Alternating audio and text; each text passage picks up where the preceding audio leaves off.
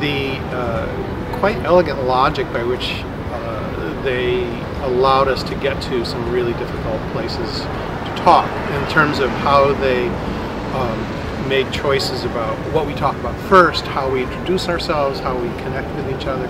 So in the room this morning, we're talking about ways in which, you know, I, we have to acknowledge our own privilege, for example, as being a white guy. And, and I felt much more comfortable with that conversation, and I think the community felt like a community that we were supporting each other.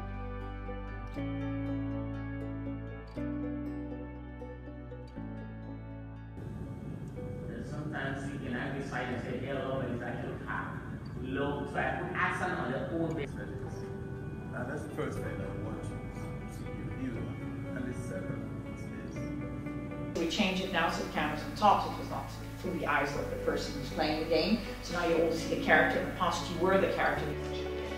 They would be taken onto the decks of ships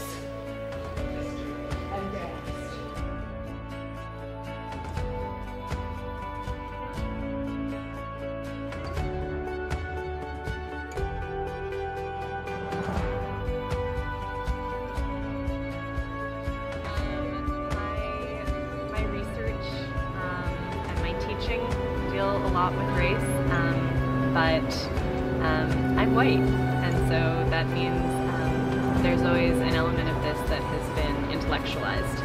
Um, and uh, the entire progression of the analysis so far over the weekend, um, sort of uh, culminating in the discussion today, which is still ongoing, um, has really allowed me to both like drop down into the actual feelings and experiences that are connected with some things that I've known intellectually,